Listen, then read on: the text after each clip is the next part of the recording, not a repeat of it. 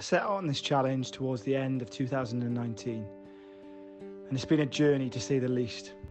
Suffering from a torn ligament in my ankle,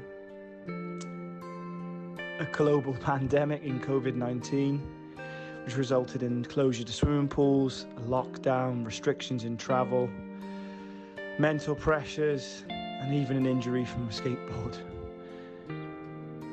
it couldn't have been written.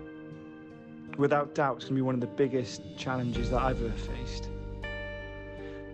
Sounds corny, but really nothing in comparison to some of the hardship and pain that people go through that are facing this terrible disease that is cancer.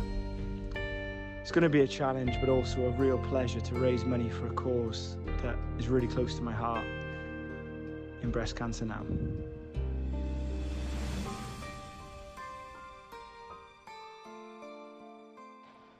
Well, the global pandemic ruined all plans to swim the Bristol Channel, so we're going to be swimming the equivalent distance in a lake.